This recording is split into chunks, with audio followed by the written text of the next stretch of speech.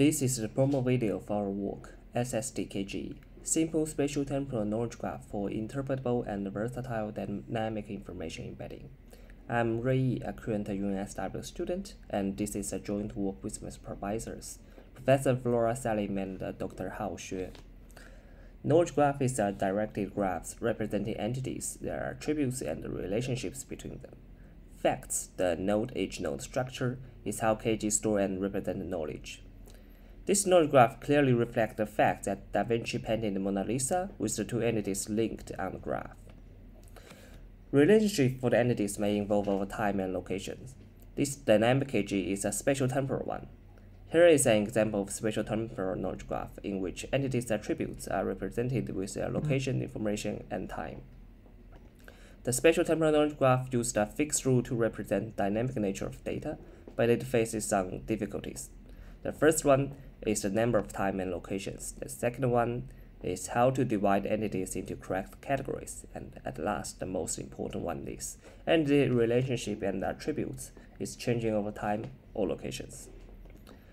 Existing methodology for solving the spatial temporal graph problems are still encumbered by certain limitations.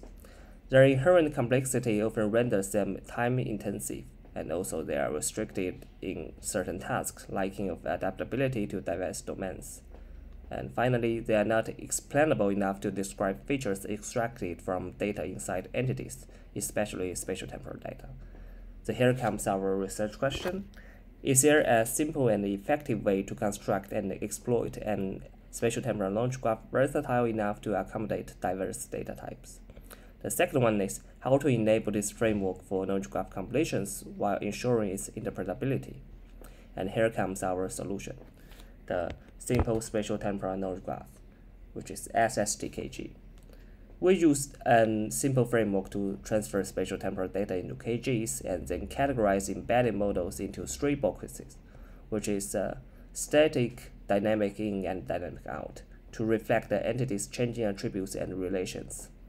Our model is designed with computational efficiency in mind while the embeddings have inference patterns being effectively used in tasks like uh, sale predicting and traffic forecasting. Another significant advantage of SSTKG framework is its interpretability.